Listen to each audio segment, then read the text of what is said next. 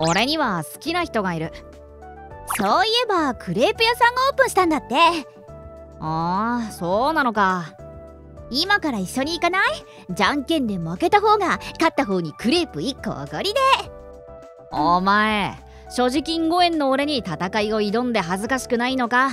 大丈夫大丈夫。私所持金1円だから。お金ない学生2人がじゃんけんして何の意味があるんだよじゃあ今度にしよっか。こいつの名前は能登かすみ幼稚園の頃から付き合いのある幼なじみだ。そして何を隠そう俺。三浦誠也の好きな人でもある。片思いすることをかれこれ14年。もう高校3年生になる俺たちは受験を控えて遊んでいる暇なんてなくなってしまうことだろう。そこで先日勇気を出して告白をしてみたところうん私も好きだよ。友達として。ガビーン。友達としての好きだと勘違いされてしまった。これはあれだろうか。俺はもはや異性として全く意識されていないということなのだろうか。すげえあの子美人。モデルさんかな。そもそもこの幼なじみはスペックが高すぎるのだ街を歩けばすれ違う人の10人に9人が2度見し10人に1人は3度見するほどの美人。誰に対しても分け隔てなく接し明るい性格で場を和ませるムードメーカー。そんなんだから学校ではすこぶる人気者で男子からの告白も絶えないのだとか。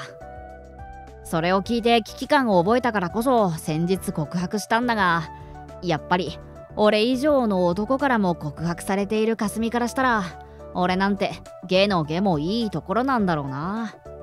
そんな男異性として意識しろって方が無理な話か。はあせいやがクソデカため息を吐いている。あ私と一緒にいるの楽しくないのかな。あ私能登かすみには好きな人がいる。それは今隣にいる三浦誠也だ。幼稚園の頃から付き合いのある幼なじみで高校3年生の現在まで何かとずっと一緒にいる。腐れ縁ではなく私がしつこく聖夜につきまとっている。きっかけは幼稚園の時のことだ。同じサルベド組で初めて対面した頃私と聖夜はとても仲が悪かった。これ私の。いや俺のだ。こらこら喧嘩しないの。だいたいいつも喧嘩して幼稚園の先生を困らせていたものだ。そんな私たちに転機があったのは年長組の男子グループが遊具の占領していたことで同じ組の子たちが遊べず泣いていたのを見た時だ。プニキュア好きだった私と戦隊ヒーローが好きだった聖夜は子供ながら正義感に燃えて悪を滅ぼさなければと年長組と戦った。でその結果年長組をボコボコに泣かせてめちゃくちゃ先生たちに怒られた。親も呼ばれて叱られたしで散々な目にあったけど。お前度胸あるじゃん。そっちこそ。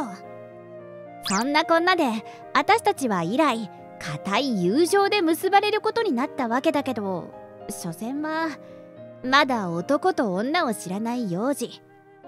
小学生に上がって異性を意識し始めたら私はすぐに聖夜を好きになった。聖夜ってさどんな女の子がタイプなの？ねおっぱいが大きい女の子。うん。聖夜は小学生になってむっつりになってしまったけどそれでも昔と変わらず正義感の強い男の子で私はそんな聖夜がずっと好きだった。だから聖夜好みの女の子になろうと思った。あらかすみちゃんどうかしたの？うんん。はあえクソでかため息吐かれたのだけれどなんでかしら？それから頑張ってみたもののせいやが私に振り向いてくれることはなくあくまでも仲のいい友達として一緒に過ごすこと14年好きだかすみ先日私は聖夜に告白された。最初はさすがに驚いたけどよくよく考えれば恋愛的な意味じゃないと思ったのだ。だって今までそんな素振りなかったし。だから私は考えた結果これは友人的な意味での好きなのだと結論付けた。うん私も好きだよ。友達として。え？が後に気づいたがどうやらこれは恋愛的な意味だったっぽい。ののの。私はバカだ。千載一遇のチャンスをドブに捨てたのだ。あれは間違いだったとすぐにでも聖夜に行って告白をやり直したい。でもせっかく勇気を出して告白してくれた聖夜の顔に泥を塗った私が一体どの面下げてそんなことが言えるのか。嫌われちゃったよね。本気の告白だと気づかず。はあ。そんなこんなでそれからずっとブルーな気持ちが続き現在に至る。はあ。今もせいやクソデカため息吐いてるし。きっともう私と一緒にいることすら不快なんだ。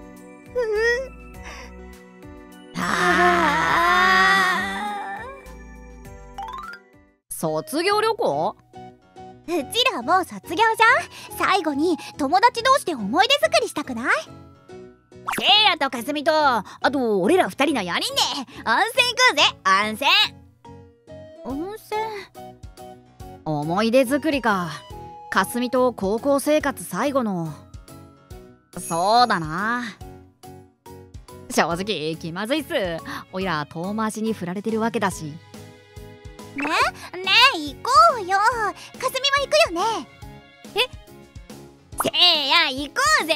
温泉だぞ。温泉まんじゅうだぞ。温泉まんじゅうか。まあこいつらとこうやって気楽に会えるのも最後かもしれないしな。かすみのことを抜きにしてもクラスの友達との思い出くらいは作っておくか。じゃあ行くか温泉。ほらせいやは来るって。かすみも行くよね。あうん分かった。私も行く。はいやったというわけでクラスでよくつるんでいる友達の誘いで男女4人組で温泉旅行することになった。かすみ温泉どこ行きたいとかあるのか？うーん特にないけど。あこことかよくない？確かに雰囲気良さそうだな。この旅行の目的は分かっているかね？もちろんだとも両思いのくせにいつまでたってもくっつかないこのどうしようもない2人をくっつけるために友達であるところの我々が一肌脱ぐ。やれやれ世話の焼ける友達だわね。まったくだ。して策は？すでに考えてある。この私に任せなさいなけけけけけけけあの二人仲いいよな。だね。あの二人絶対両思いだよな。だと思うよ。よく二人でいるし休日デートもしてるんだって。それで付き合ってないんだよな。まったく両思いのくせに何をやってるんだか。ほんとほんと。好きなら好きってちゃんと伝えればいいのにね。えそうこうしているうちに月日は流れてその日が訪れた。ここが今日泊まる温泉宿か。風情のある宿だね。まあ高校生が自腹で泊まれる場所なんてこんなもんだよね。おっとところでかすみちょっといい？え何？かすみってさせいやのこと男として意識してない？えね何急に？まあまあいいからいいから。答えてよ。何言ってるのよ。そんなわけないでしょ。何年一緒にいると思ってるのよ。やっぱりですよね。そそれがどうかしたの？いやそれならよかったよ。実は手違いで部屋割り間違えちゃってさ。本当は1人1部屋ずつ部屋取ってたんだけどせいやとかすみだけ2人部屋になっちゃったんだよね。え？というわけで今晩2人とも同じ部屋で寝てね。その後俺が女子2人で寝ればいいじゃないかと提案したが。私1人じゃないと寝られないと拒否をされかすみが男2人で寝ればいいじゃないかと提案したら卒業旅行で男2人で寝るとかどんな罰ゲーム？と意見が一致したことであ結局こうなった。ままあ俺たちは幼なじみだし小さい頃は同じ布団で寝たこともあるしかすみは俺のことを意識してないらしいし何の問題もない。いやないわけないだろ！う好きな女の子と一晩同じ部屋だぞ。問題しかない。ちらりいやー内装は結構綺麗なもんだね。でもやっぱりかすみは全然意識とかしてなさそうだな。俺みたいに慌てている様子もないし。あどどどどどどどどどどどどどうしようせいやと一晩同じ部屋で寝ることになっちゃった男として意識してないかって？してるに決まってるでしょ！さっきから心臓のドキドキが止まらない！多分今私の脈拍は200を超えている！ゴム人間じゃなかったら死んでいた！チラリ。ーさてとちょっと外出て観光でもするかな？でもやっぱりせいやはいつも通りだな。やっぱりもう私のことなんて全然興味なくなってたりするのかな？なあかすみ観光しないか？ここら辺面白いものたくさんありそうだしさ。うん。そそうだね。2人も呼ぼっか。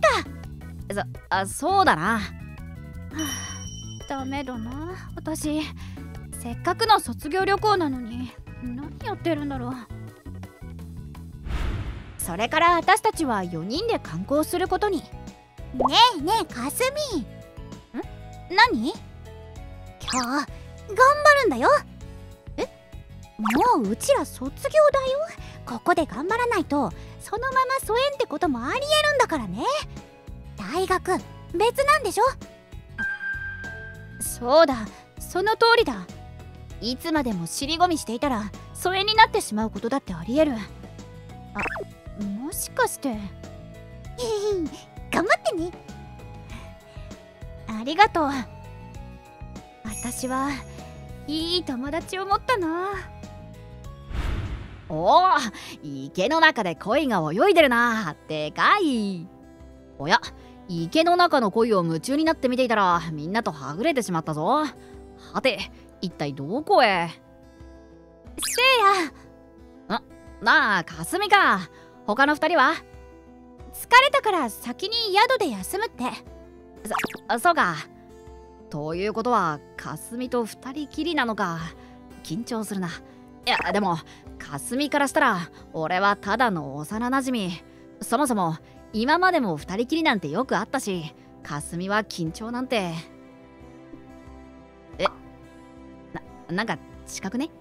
しかもかすみの顔も赤いし。かすみ？いつもと様子が違う。これもしかしてかすみも緊張してる？意識してくれてるってことか手とか握ったら嫌がられるかな？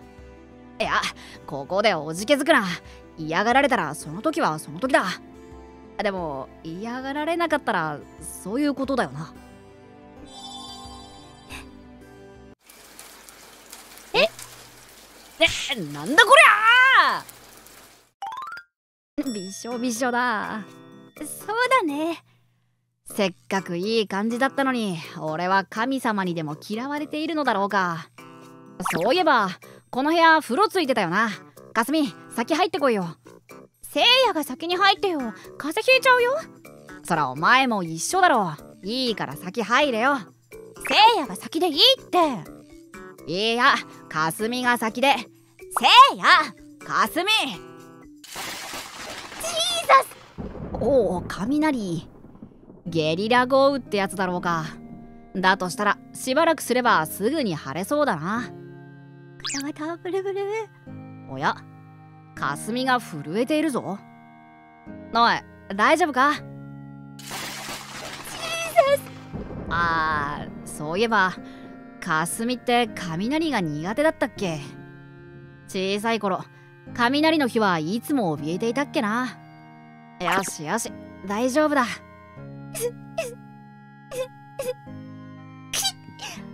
ジーザスあごごめん。やっぱこのままだと風邪ひくな。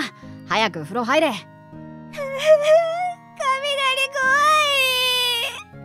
怖い。はいはい。じゃあ落ち着くまで一緒にいてやるから。ほれ。せめて髪だけでも拭いておけ。なんだろう。雷が怖いはずなのにせいやといると安心する。知ってるか？ネギトロってネギ取るって意味から来てるからネギがなくてもネギトロって言うんだって。せいやが怖くないようにとクソしょうもない雑学を私に話してくれるからだろうか。たくさんねそれとも寒いくせに私のためにずっとそばにいてくれるから？いやきっとどっちも正解だ。まあ雷は怖いんだけど。よしよし。大丈夫だぞ。俺があくそねいるからな。いまいち閉まらないけど。うんやっぱり好きだな。せいや私せいやのこと好き今なんて言ったのだろうか。そのせいやはもう私のことなんて好きじゃないかもしれないしこんなこと言われても迷惑かもしれないけどき気持ちだけは伝えておきたくて。いやいやちょっとちょっと。何の話だ？だってせいやこの前私に告白してくれたでしょ？えあいやあれ？えでもあれは友達としての好きだと勘違いしていたんじゃ最初はそう思ったんだけど後々考えてみたら恋愛的な意味だったんじゃないかなと思い直しまして。ち違った？えいやち違くないです。そっか。やっぱり私ひどいよね。せっかく告白してくれたのに私鈍いから恋愛的な意味だって思わなくて。かすみ今さら虫のいい話だとは思うけどでもやっぱり私せいやのこと好き。ごめんね。せいやのこと傷つけておきながらこんなこと。何言ってんだよ。本気の告白を。友達としての好きだと勘違いされて俺が傷ついたとでも。違うの？違わないけど。だよね。ごめん。でも別にそれ自体に落ち込んでいたわけじゃなくて男として意識されてないと思ったからさ。それでショックを受けただけなんだ。そのことでかすみに思うことなんて何もなかったよ。そうなの？ああだから俺は今もかすみのこと好きだよ。そうなんだ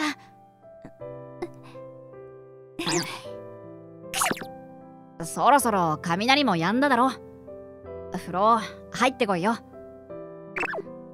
かすみ一緒に入ろう。え？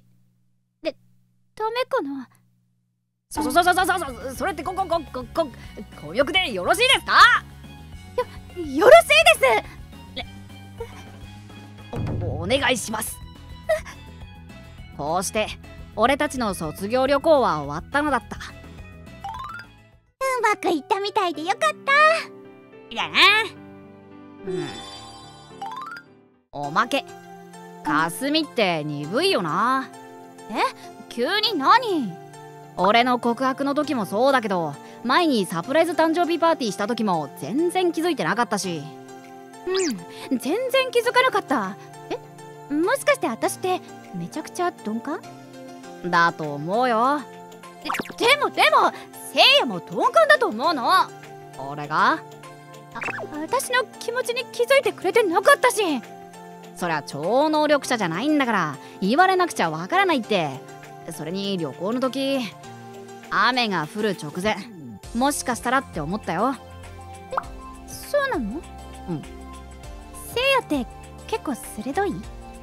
まあ今お前が俺のためにサプライズ誕生日パーティーを画策していることくらいは気づいているかな？